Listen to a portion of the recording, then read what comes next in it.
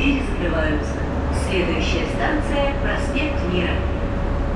Будьте осторожны, выходя из вагона.